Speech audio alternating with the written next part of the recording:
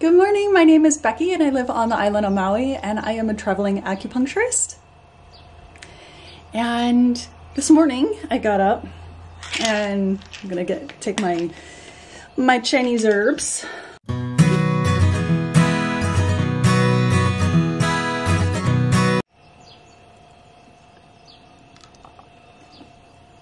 Oh.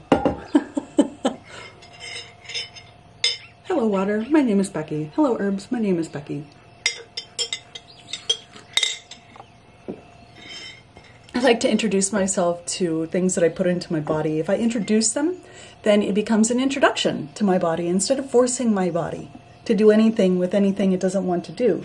So now that I've introduced my herbs to my body, it has the choice on whether or not it wants to do anything with them. It's a, I find that introducing myself to anything makes it a much more peaceful and relaxing um, experience for me.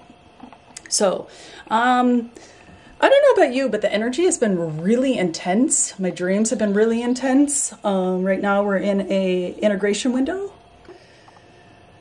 And we, I'm looking down at my note, uh, my calendar and we're also, oh yeah, we're also in a body speed up phase. So I noticed that the downloads that my energetic computer system is receiving are really, really intense right now. Um, I woke up in a, feeling like I was in a bed, a healing chamber. Um, and just the intensity of the energy coming through and the amount of downloads my my um, body was integrating. It's just been really intense lately. Um, but one of the things that it's helping me to remember is to be kind to myself and to love myself. I think that so much of our society has been taught to get so far away from loving ourselves, fulfilling our own needs, and letting other people dictate our worth and our value. So, anyhow, today I'm having my morning coffee it is delicious. I drink a wonderful um, organic coffee that is um, very mellow. It doesn't give me the zingers. And I bought a frother, a milk frother, and I figured out how to use it. Oh, I'm so excited. It was so delicious to have frothy milk in my coffee this morning. Hmm. All right. So, this morning, let's see, head out. Yesterday I did all the laundry and I made miracle water, which um, if you haven't seen my other videos, um, it's just about restructuring the um, the oxygen to hydrogen level, making the um, the angle bond larger. Instead of being 108 degrees, I heat and cool the water so many times that it actually expands the angle to about 114, which allows no um, nothing to grow in it. And one of the things I was thinking about when I woke up this morning, and I was so excited because I can't remember the last time I was sick because I know that it was before 2020. And being a traveling acupuncturist, I kind of pride myself on my health and really taking care of myself because I know that if I'm sick, that means that I have an emotional imbalance somewhere in my body. If I hurt myself, um, yeah, I've hurt myself a couple times um, on this arm. And it's all about an emotional imbalance and coming back into that balance.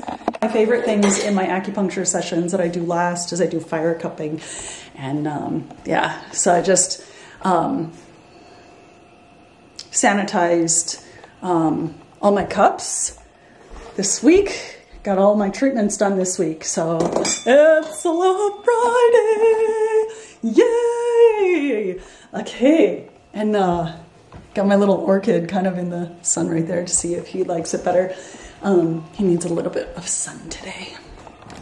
So today, I'm gonna go up and what? Where am I? oh, there we go. Um, so I'm gonna go up here and check on. I want to check on my little trees. So I'm part of an organization that is planting a million native trees around the world with little source seeds. They're little, tiny little magnets that are attuned to the 144 layers of time. It's a whole new technology, not quantified by science yet, um, and won't be quali- qualified by science because we don't have the technology yet um, to quantify it. So it's really exciting. But so far, I had planted, this is not a native tree, but I planted this little Buddha's hand. And the Buddha's hand in Chinese medicine is really good for candying and making um, like little crystallized candies with them. Come close me. Oh my God. Hi. Um, making little crystallized candies with them and it helps nourish the tummy. So I've always wanted a Buddha's hand. And uh, look at this other little guy. This is my, um, my fingerling. Isn't he cute? Next to my ginger. I dug some ginger out the other day, um, which also nourishes the stomach. And the fingerling is just because they are, they look so amazing. And then, oh yeah, my friend Janine dropped off this little white calla lily for me. Um, um, cause in the beginning of May, I lost my doggy. He got a little sick and passed away. So you won't see him in my videos anymore. Um, anyhow, and then here is another Buddha's hand, which I thought I had, um, I had root bound this guy.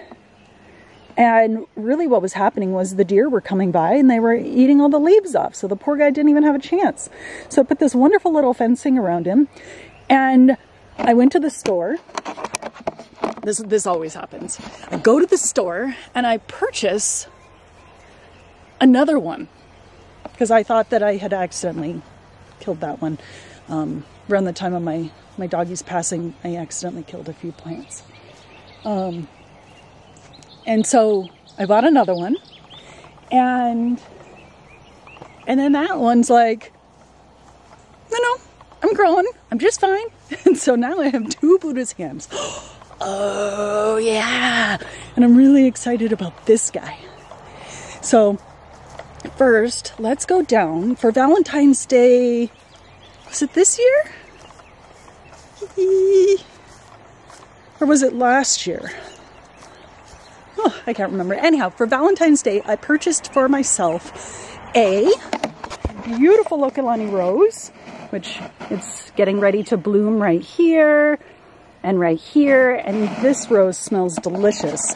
And it was Queen from my understanding, I could be totally wrong, it was Queen Liliuokalani's um, favorite rose.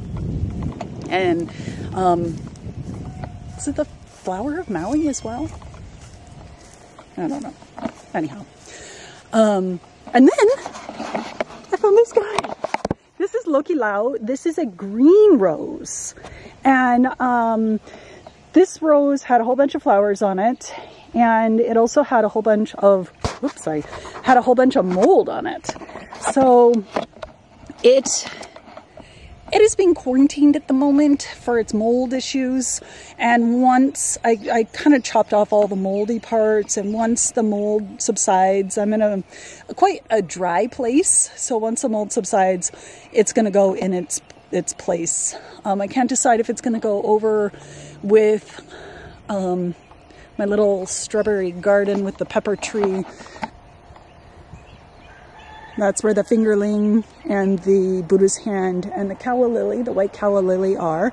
Um, or if it is going to be over here with the Lokelani, um, I don't know. But I'm so excited. Look at this. This is my little white strawberry garden and it is fruiting. Look at this. This is about as big as they get. Oh, it's not focusing. So it's a it's a little pineapple strawberry. They're so cute. Oh, this one stuck on it. Oh well. Mmm. they are so good. Mm, this is my ordinary life. This is what I do in the mornings. I go out, check on my plants, um, check my messages to see if anyone needs any acupuncture that day. Um, need to make myself an arrangement. Go out and see if there's any flowers that, well, well, whoop, whoop. Um, see if I can find any flowers for an indoor arrangement. Oh my gosh, check out this cute little shirt dress I found. Isn't it cute? I've paired it with a pair of shorts. It's so cute with these little poof sleeves.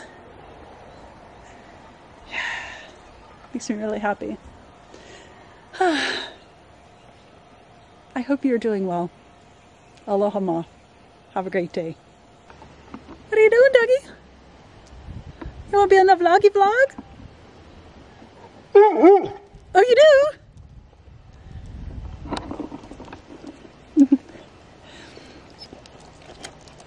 Thank you for the kiss. Thank you for the kiss.